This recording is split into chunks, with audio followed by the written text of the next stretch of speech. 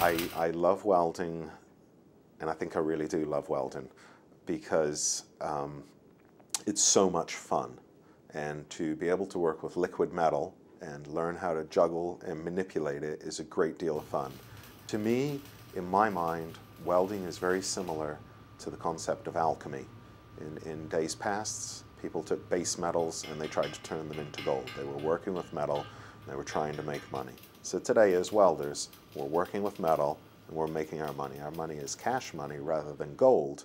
Um, however, there's still a, an aura, a mystique around welding. Welding is very similar to sewing. When we talk about welding, we talk about weaving a bead. So in that regard, um, welding is stitching the metal together. Um, so if somebody is able to uh, stitch a piece of cloth or perhaps just draw a zigzag line or a, a, series of cursive E's on a piece of paper, then they might well show an aptitude for welding. It's all about uh, consistency.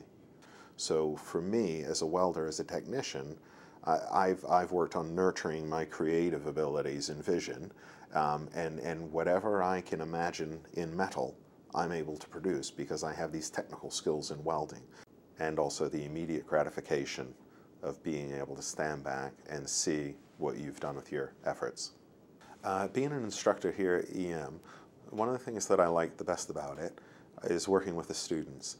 Um, I'm kind of carried along uh, on their, their energy, their enthusiasm, their vibrancy. It's almost like a river of energy, and I'm floating along with it.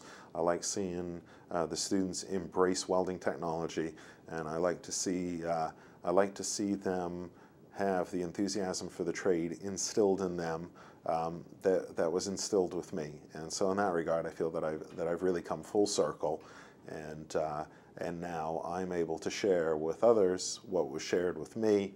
Um, and uh, it's a great viable way of making a, a rewarding living, both financially um, and as a, as, a, as a sense of personal satisfaction.